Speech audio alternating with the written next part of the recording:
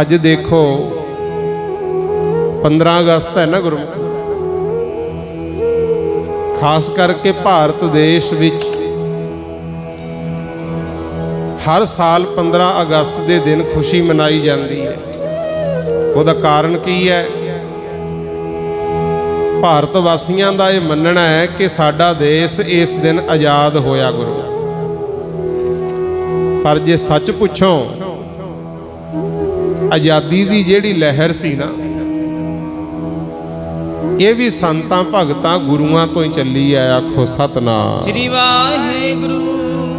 ਉਹ ਤਾਂ ਇਹ ਮੰਨਿਆ ਜਾਂਦਾ ਹੈ ਕਿ 1857 ਨੂੰ ਗਦਰ ਪਾਰਟੀ ਉਹਨਾਂ ਨੇ ਗੁਰਮੁਖ ਪਿਆਰਿਓ ਲਹਿਰ ਸ਼ੁਰੂ ਕੀਤੀ ਸੀ ਕਿਉਂਕਿ ਬਾਹਰਲੇ ਲੋਕ ਆ ਕੇ ਅੰਗਰੇਜ਼ ਬਰਤਾਨਵੀ ਸਾਡੇ ਤੇ ਹਕੂਮਤ ਕਰਦੇ ਸੀ। ਉਦੋਂ ਵੀ ਉਹਨਾਂ ਨੇ ਕੁਝ ਐਸੇ ਤਿੰਨ ਕਾਨੂੰਨ ਬਣਾਤੇ ਸੀ, ਜਿਨ੍ਹਾਂ ਦਾ ਦੇਸ਼ ਵਿੱਚ ਵਿਰੋਧ ਸ਼ੁਰੂ ਹੋਇਆ ਸੀ। ਜਿਵੇਂ ਹੁਣ ਹੋ ਰਿਹਾ ਹੈ ਨਾ, ਸਾਡੀਆਂ ਜ਼ਮੀਨਾਂ ਨੂੰ ਹੜੱਪਣ ਵਾਸਤੇ, ਸਾਡੀ ਮਾਲਕੀਅਤ ਖੋਹਣ ਵਾਸਤੇ ਕਾਲੇ ਕਾਨੂੰਨ ਬਣਾਏ ਗਏ ਹੈ। ਇਹ ਮਾਲਕੀਅਤ ਮਿਲੀ ਕਿੱਥੋਂ ਸੀ ਭਲਾ?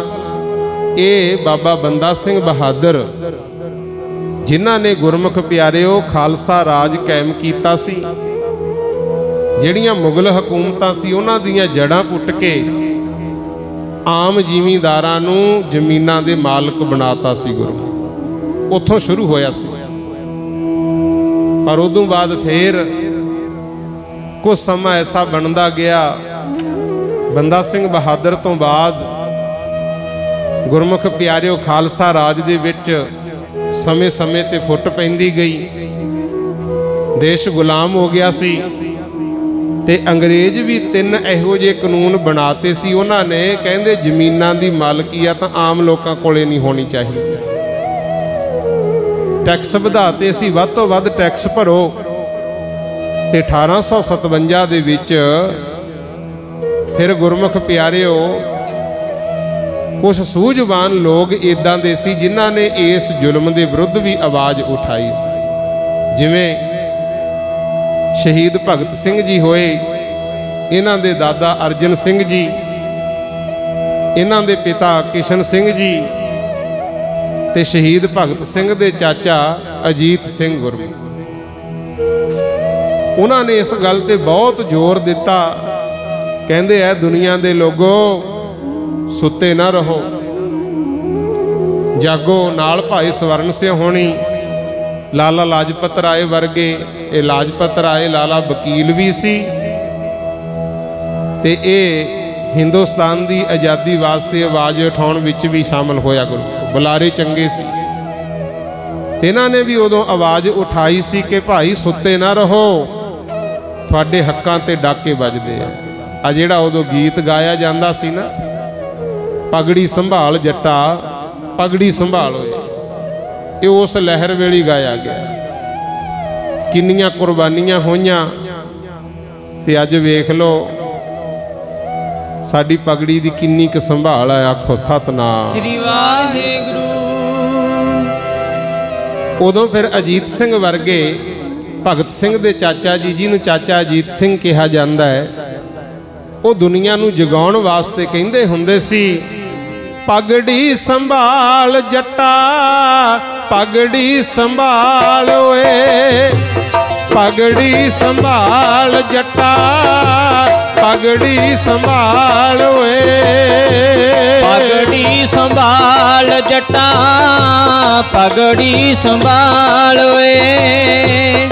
ਪਗੜੀ ਸੰਭਾਲ ਜਟਾ, ਪਗੜੀ ਸੰਭਾਲ ਓਏ। ਪਗੜੀ ਸੰਭਾਲ ਜਟਾ, ਪਗੜੀ ਸੰਭਾਲ ਓਏ। ਪਗੜੀ ਸੰਭਾਲ ਜਟਾ, ਪਗੜੀ ਸੰਭਾਲ ਓਏ।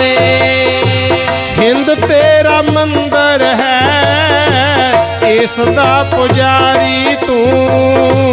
ਹਿੰਦ ਤੇਰਾ ਮੰਦਰ ਹੈ ਇਸ ਦਾ ਪੁਜਾਰੀ ਤੂੰ।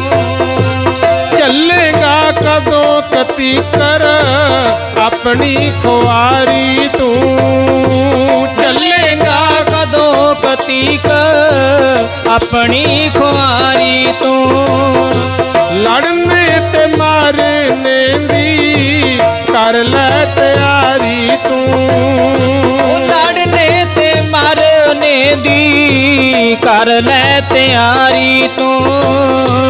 ਮਰਨੇ ਤੋਂ ਜੀਣਾ ਪੈੜਾ ਹੋ ਕੇ ਬੇਹਾਲ ਓਏ ਪਗੜੀ ਸੰਭਾਲ ਜੱਟਾ ਪਗੜੀ ਸੰਭਾਲ ਓਏ ਪਗੜੀ ਸੰਭਾਲ ਜੱਟਾ, ਪਗੜੀ ਸੰਭਾਲ ਵੇ ਪਗੜੀ ਸੰਭਾਲ ਜਟਾ, ਪਗੜੀ ਸੰਭਾਲ ਵੇ ਪਗੜੀ ਸੰਭਾਲ ਜਟਾ, ਪਗੜੀ ਸੰਭਾਲ ਵੇ ਪਗੜੀ ਸੰਭਾਲ ਜਟਾ, ਪਗੜੀ ਸੰਭਾਲ ਵੇ ਪਗੜੀ ਸੰਭਾਲ ਜਟਾ।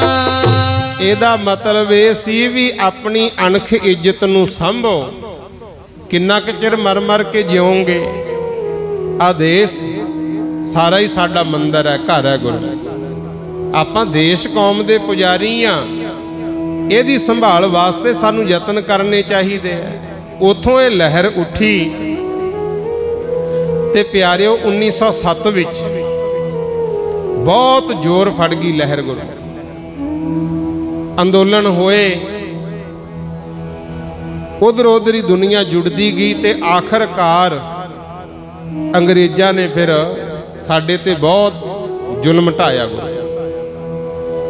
ਕਈਆਂ ਨੂੰ ਸ਼ਹੀਦ ਕੀਤਾ, ਕਈਆਂ ਨੂੰ ਜੇਲ੍ਹਾਂ 'ਚ ਰੱਖਿਆ। ਮੈਂ ਇਹ ਜ਼ਿਕਰ ਤਾਂ ਕਰਦਾ ਵੀ ਜਿੱਥੇ ਅੱਜ ਅਸੀਂ 15 ਅਗਸਤ ਆਜ਼ਾਦੀ ਦੀ ਖੁਸ਼ੀ ਮਨਾ ਰਹੇ ਹਾਂ ਉੱਥੇ ਆਪਣੇ ਸ਼ਹੀਦਾਂ ਨੂੰ ਦੇਸ਼ ਕੌਮ ਤੋਂ ਜਾਨ ਵਾਰਨ ਵਾਲਿਆਂ ਨੂੰ ਵੀ ਭੁੱਲਣਾ ਨਹੀਂ ਚਾਹੀਦਾ। ਅੱਜ ਵਾਲੇ ਦਿਨ ਸ਼ਹੀਦ ਭਗਤ ਸਿੰਘ ਦੇ ਚਾਚਾ ਅਜੀਤ ਸਿੰਘ ਦੀ ਮੌਤ ਵੀ ਹੋਈ ਸੀ ਆਖੋ ਸਤਨਾਮ। ਸ੍ਰੀ ਵਾਹਿਗੁਰੂ। ਉਹਦਾ ਕਾਰਨ ਇਹ ਬਣਿਆ ਅੰਗਰੇਜ਼ਾਂ ਨੇ ਦੇਖਿਆ ਵੀ ਇਹ ਵਿਰੋਧ ਕਰਦੇ ਆ ਫੜ ਕੇ ਜੇਲ੍ਹਾਂ 'ਚ ਪਾਤਾ ਗੁਰੂ ਤੇ ਸ਼ਹੀਦ ਭਗਤ ਸਿੰਘ ਦਾ ਜਨਮ ਵੀ 1907 'ਚ ਹੋਇਆ। ਤੇ ਉਹਨਾਂ ਨੇ ਬੜੀਆਂ ਚਿੱਠੀਆਂ ਵੀ ਲਿਖੀਆਂ ਮੈਂ ਅਜੀਤ ਸਿੰਘ ਨੂੰ ਮਿਲਾਂ। ਪਰ ਪਿਆਰਿਓ, ਨਹੀਂ ਮੇਲ ਮਿਲਾਪ ਹੋਇਆ। ਆਖਰਕਾਰ ਅੰਦੋਲਨ ਇਦਾਂ ਹੀ ਚੱਲਦਾ ਰਿਹਾ ਤੇ ਸ਼ਹੀਦ ਭਗਤ ਸਿੰਘ ਵਰਗੇ ਤੇ ਹੋਰ ਵੀ ਕਈਆਂ ਨੇ ਸ਼ਹੀਦੀਆਂ ਪਾ ਕੇ ਕੁਰਬਾਨੀਆਂ ਕਰਕੇ ਸਾਨੂੰ ਆਜ਼ਾਦੀ ਲੈ ਕੇ ਦਿੱਤੀ। 1947 ਨੂੰ 15 ਅਗਸਤ ਵਾਲੇ ਦਿਨ ਆਪਾਂ ਆਜ਼ਾਦੀ ਦਾ ਦਿਨ ਹਰ ਸਾਲ ਮਨਾਉਂਦੇ ਆ ਦਿਨ ਤਾਂ ਆ ਜਾਂਦਾ ਹਰ ਸਾਲ ਪਰ ਆਜ਼ਾਦੀ ਨਹੀਂ ਦਿਖਦੀ ਆਖੋ ਸਤਨਾਮ। ਸ੍ਰੀ ਵਾਹਿਗੁਰੂ। ਇਹ ਜਿਹੜੀ ਲਹਿਰ ਸੀ ਗੁਰਮੁਖ ਪਿਆਰਿਓ ਸੰਤਾਂ ਮਹਾਪੁਰਸ਼ਾਂ ਗੁਰੂਆਂ ਤੋਂ ਸ਼ੁਰੂ ਹੋਈ ਮੈਂ ਜੋੜਨਾ ਤੁਹਾਨੂੰ ਗੁਰਬਾਣੀ ਨਾਲ ਪਰ ਧਿਆਨ ਨਾਲ ਸਮਝਿਓ। ਮਹਾਪੁਰਸ਼ ਬਾਬਾ ਫਰੀਦ ਜੀ ਕਿੰਨਾ ਹੀ ਸਮਾਂ ਪਹਿਲਾਂ ਕਹਿ ਗਏ ਫਰੀਦਾ ਬਾਰ ਪਰਾਇਆ ਬੈਸਣਾ ਸਾਈ ਮੁਝੈ ਨਾ ਦੇ। ਇਹ ਵੀ ਆਜ਼ਾਦੀ ਦੀ ਗੱਲ ਸੀ ਗੁਰੂ। ਕਹਿੰਦੇ, ਹੈ ਪ੍ਰਮਾਤਮਾ, ਹੈ ਅੱਲਾ, ਜੇ ਮੈਨੂੰ ਦੂਜਿਆਂ ਦੇ ਬਾਰ ਤੇ ਬੈਠਣ ਜੋਗਾ ਰੱਖਣਾ ਹੈ, ਦੂਜਿਆਂ ਤੋਂ ਭੀਖ ਮੰਗਣ ਜੋਗਾ ਰੱਖਣਾ ਹੈ, ਮੈਨੂੰ ਇਹ ਠੀਕ ਨਹੀਂ ਲੱਗਦਾ। ਫਰੀਦਾ, ਬਾਰ ਪਰਾਇਆ ਬੈਸਣਾ, ਸਾਈ ਮੁਝੇ ਨਾ ਦੇ, ਜੇ ਤੂੰ ਐਵੇਂ ਰੱਖ ਸੀ ਜਿਉ ਸ਼ਰੀਰ ਹੋ ਲੈ ਗੁਰੂ ਉਹ ਕਹਿੰਦੇ ਹੇ ਅੱਲਾ ਜੇ ਮੈਨੂੰ ਇਦਾਂ ਹੀ ਰੱਖਣਾ ਹੈ ਨਾ ਵੀ ਕਦੇ ਉਹਦੇ ਅੱਗੇ ਹੱਥ ਬੰਨ ਲੇ ਕਦੇ ਉਹਦੇ ਅੱਗੇ ਫਿਰ ਮੈਂ ਜਿਉਣਾ ਨਹੀਂ ਚਾਹੁੰਦਾ। ਮੇਰੇ ਸਰੀਰ ਵਿੱਚੋਂ ਆਪਣੀ ਜੀਵ ਆਤਮਾ ਹੀ ਕੱਢ ਲੈ ਆਖੋ ਸਤਨਾਮ। ਸ੍ਰੀ ਵਾਹਿਗੁਰੂ। ਇਹਦਾ ਮਤਲਬ ਵੀ ਇਹੀ ਹੈ ਵੀ ਗੁਲਾਮ ਹੋ ਕੇ ਕੀ ਜੀਣਾ ਗੁਰਮੁਖ। ਤੇ ਅੱਜ ਵੇਖ ਲਓ ਜਿਵੇਂ ਮੈਂ ਪਹਿਲਾਂ ਬੇਨਤੀ ਕੀਤੀ ਹੈ ਕਸੂਰ ਤਾਂ ਸਾਡਾ ਵੀ ਹੈ ਗੁਰਮੁਖੋ। ਨਾ ਅਸੀਂ ਕੇਸਾਂ ਦੀ ਕਦਰ ਕੀਤੀ ਨਾ ਅਸੀਂ ਪਗੜੀਆਂ ਸੰਭਾਲੀਆਂ, ਜਿਨ੍ਹਾਂ ਅੰਗਰੇਜ਼ਾਂ ਨੂੰ ਕੁਰਬਾਨੀਆਂ ਕਰਕੇ ਲੜਾਈਆਂ ਲੜ ਕੇ ਇੱਥੋਂ ਕੱਢਿਆ ਸੀ, ਅੱਜ ਜਾ ਜਾ ਕੇ ਉਹਨਾਂ ਦੇ ਗੁਲਾਮ ਬਣੀ ਜਾਂਦੇ ਅਸੀਂ। ਉਹਦਾ ਕਾਰਨ ਕੀ? ਕਿ ਕਾਇਦਾ ਕਾਨੂੰਨ ਜਿਹੜਾ ਸਾਡਾ ਬਣਾਇਆ, ਸੰਵਿਧਾਨ ਹੈ ਤਾਂ ਉਹ ਬਹੁਤ ਵਧੀਆ। ਪੰਜਾਬ ਦੀ ਧਰਤੀ ਤੋਂ ਜੋ ਵੀ ਆਵਾਜ਼ ਉੱਠੀ, ਚਾਹੇ ਉਹ ਭਗਤੀ ਲਹਿਰ ਸੀ, ਚਾਹੇ ਸ਼ਹੀਦਾਂ ਦੀ ਲਹਿਰ ਸੀ, ਹੈ ਤਾਂ ਬਹੁਤ ਵਧੀਆ। ਪਰ ਕਾਇਦੇ ਕਾਨੂੰਨ ਲਾਗੂ ਕਰਨ ਵਾਲੇ ਤੇ ਅਸੀਂ ਮੰਨਣ ਵਾਲੇ ਠੀਕ ਨਹੀਂ ਰਹੇ ਆਖੋ ਸਤਨਾਮ। ਸ੍ਰੀ ਵਾਹਿਗੁਰੂ। ਬਾਬਾ ਫਰੀਦ ਜੀ ਮਹਾਪੁਰਸ਼ ਸਤਿਗੁਰ ਕਬੀਰ ਜੀ ਸਤਿਗੁਰ ਰਵਿਦਾਸ ਜੀ ਮਹਾਰਾਜ ਕਿੰਨੇ ਇਹਨਾਂ ਨੇ ਦੁੱਖ ਝੱਲੇ ਸਿਕੰਦਰ ਲੋਧੀ ਵਰਗੇ ਉਹ ਚਾਹੁੰਦੇ ਸੀ ਵੀ ਸਾਰੇ ਮੁਸਲਮਾਨ ਹੋਣ। ਸਾਡੇ ਤੋਂ ਜਿਹੜੇ ਛੋਟੇ ਨੇ ਉਹ ਸਾਨੂੰ ਟੈਕਸ ਭਰਨ ਸਾਡੇ ਗੁਲਾਮ ਬਣ ਕੇ ਰਹਿਣ। ਤੇ ਮਹਾਰਾਜ ਕਬੀਰ ਜੀ, ਮਹਾਰਾਜ ਰਵਿਦਾਸ ਜੀ ਨੇ ਸਿਕੰਦਰ ਲੋਧੀ ਤੋਂ ਬਨਾਰਸ ਦੇ ਰਹਿਣ ਵਾਲਿਆਂ ਦਾ ਟੈਕਸ ਮਾਫ ਕਰਾਇਆ ਸੀ, ਆਜ਼ਾਦੀ ਦਿਵਾਈ ਸੀ। ਸਮਾਂ ਚੱਲਦਾ ਰਿਹਾ, ਗੁਰੂ ਨਾਨਕ ਪਾਤਸ਼ਾਹ ਸੰਸਾਰ ਚ ਆਏ। ਬਾਬਰ ਵਰਗੇ ਵੀ ਹਮਲੇ ਕਰਕੇ ਸਾਨੂੰ ਲੁੱਟਣੇ ਚਾਹੁੰਦੇ ਸੀ, ਸਾਨੂੰ ਗੁਲਾਮ ਬਣਾ ਕੇ ਰੱਖਣਾ ਚਾਹੁੰਦੇ ਸੀ। ਗੁਰੂ ਨਾਨਕ ਪਾਤਸ਼ਾਹ ਨੇ ਆਵਾਜ਼ ਉਠਾਈ, ਅਸੀਂ ਗੁਲਾਮੀ ਚ ਨਹੀਂ ਜਿਉਣਾ। ਇਹੀ ਲੜੀ ਅੱਗੇ ਚੱਲੀ ਗੁਰੂ ਅਰਜਨ ਦੇ ਮਹਾਰਾਜ। ਸ਼ਹੀਦੀ ਦੇਣੀ ਪਈ ਉਹਨਾਂ ਨੂੰ, ਫਿਰ ਛੇਵੇਂ ਪਾਤਸ਼ਾਹ ਨੇ ਧਰਮ ਯੁੱਧ ਕੀਤੇ। ਗੁਰੂ ਤੇਗ ਬਹਾਦਰ ਦੀ ਸ਼ਹੀਦੀ ਹੋਈ ਤੇ ਗੁਰਮੁਖ ਪਿਆਰਿਓ, ਧੰਨ ਗੁਰੂ ਗੋਬਿੰਦ ਸਿੰਘ ਮਹਾਰਾਜ ਨੇ ਵੀ 14 ਜੰਗ ਲੜੇ। ਤੇ ਆ ਜਦੋਂ ਆਏ ਸ੍ਰੀ ਮੁਕਤਸਰ ਸਾਹਿਬ, ਇਹ ਅਖੀਰਲਾ ਯੁੱਧ ਸੀ।